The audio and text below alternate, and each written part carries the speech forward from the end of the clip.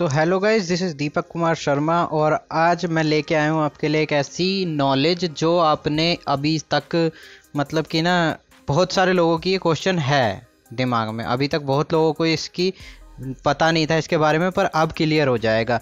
मेरे पास एक क्वेश्चन आया, बार बार आया, कई लोगों का आया कि, सर, हम किस तरीके से अपनी इमेजेस कैरोसोल बनाने के लिए या फिर किस तरीके से अपनी क्या कहते हैं, जो इमेजिनरी हम वहाँ पे लगाएँगे, कौन सी थॉट प्रोसेस यूज़ करते हैं, कौन सी डिज़ाइन थिंकिंग लगाते हैं वहाँ पे कि हमें वही इमेज मिले जो हमें चाहिए। ठीक है? कि मतलब किस तरीके से हम अपनी इमेजेस यूज़ करेंगे। अभी देखो, मेरी जो इमेजेस लगी हुई हैं कि बेस्ट टूल्स फॉर डिज़ाइनर तो देखो टूल का यूज़ करते हुए जो एक मकैनिक होता है, उस टाइप की एक इमेज है। ठीक है? हु इज़ ए डिज़ाइनर और इवोल्यूशन क्या है? तो ए आर वी आर का इस्तेमाल होने वाला है। रेस्पेक्ट करते हैं हम बुज़ुर्ग की।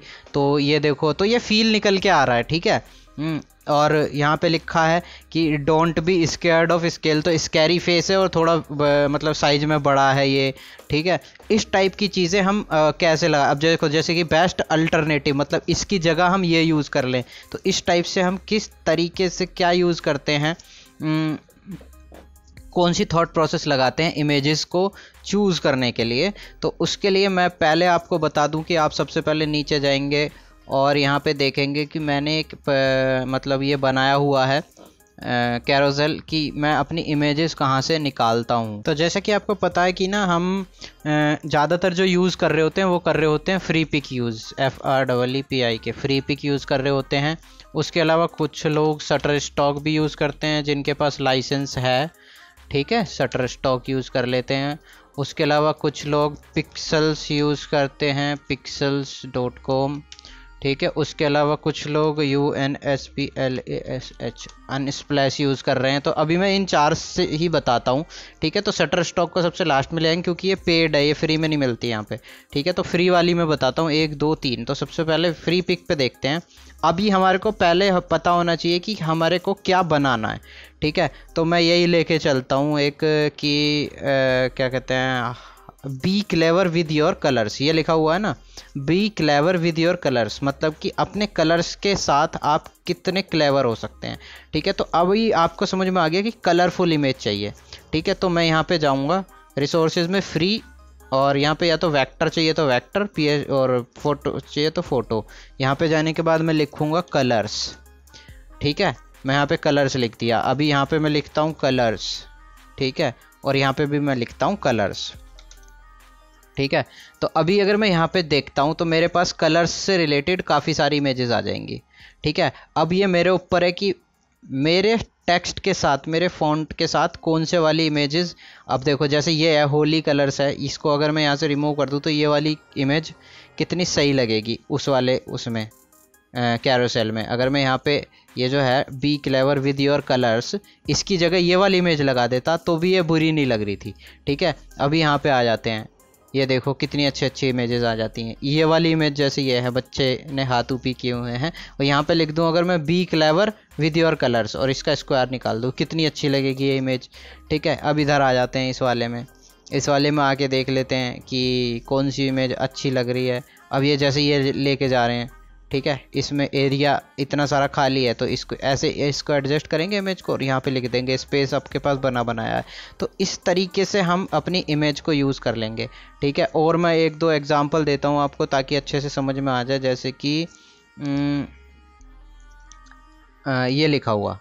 यहाँ पे लिखा हुआ है do you keep posting on a daily basis तो अभी आपको समझ में आना चाहिए कि इसमें जो फील आ रही है वर्ड में वो ये है कि क्या आप रोज़ पोस्ट करते हो? अब डेली बेसिस पे पोस्ट करते हो तो पोस्ट करने के लिए क्या आएगा कि पोस्ट से रिलेटेड इमेज होनी चाहिए, ठीक है? तो यहाँ पे लिखूँगा मैं post P O S T post. और यहाँ पे ये पोस्ट से रिलेटेड इमेजेस इन्होंने यहाँ पे, देखो, यहाँ पे लिख दिया ना, ये आ गई इमेजेस पोस्ट से रिलेटेड। अभी देखो आ, ये ये ये ये जितनी भी इमेजेस है ना ये पोस्ट से रिलेटेड है। अब कुछ डार्क वाली पोस्ट से रिलेटेड है। तो यहाँ पे अभी आप अपलोड लिख सकते हो। पोस्ट और अपलोड बात एक ही है ना अभी देखो। यहाँ पे ये आ गई अपलोड से रिलेटेड अब यहाँ पे मान लो आ, मैं एक इमेज ले लेता हूँ ये वाली इमेज ले लेता हूँ। और यहाँ पे मैं अब इसकी जगह ना एक अपने कैरोसेल इमेज लगा दूँ। ठीक है, इसको रिमूव करके यहाँ पे और अपनी एक कैरोसेल इमेज लगा दूँ। और ये देखो फील आ रही है उसको देख के कि हाँ ये बात कर रहे हैं कि do you post on a daily basis ठीक है, अभी यहाँ पे भी हम लिखते हैं पोस्ट ठीक है तो इस तरीके से हम अपनी इमेजेस को चूज़ करते हैं। यहाँ पे भी लिख देते हैं हम पोस्ट ओके तो अभी देखो यहाँ पे, अब चाहो तो आप इस तरीके की इमेजेस भी यूज़ कर सकते हो। ठीक है या फिर आप सोशल मीडिया से रिलेटेड भी कोई इमेज यूज़ कर सकते हो। तो इस तरीके से हम अपनी इमेजेस को चूज़ करते हैं और यहाँ पे लगाते हैं।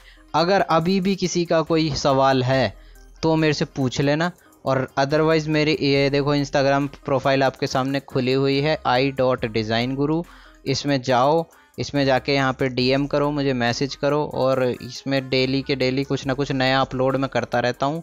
तो वहाँ पे जाके चेक करो। उसके अलावा यहाँ पे आप देख ही रहे हो तो यहाँ पे मेरा जो यूट्यूब चैनल है ही, यहाँ पे जाओ और यहाँ पे जाके यहाँ पे योर चैनल में जाएँगे।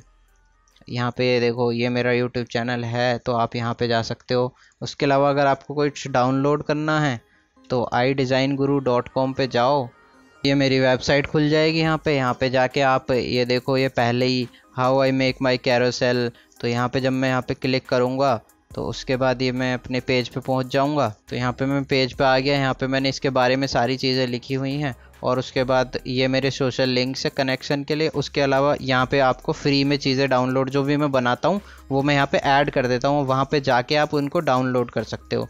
ऐसे ही यहाँ पे भी पड़ी होगी। तो ये सारी चीज़ें हैं।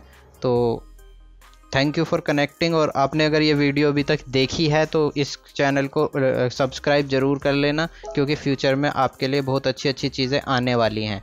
तो thank you thanks a lot let's learn together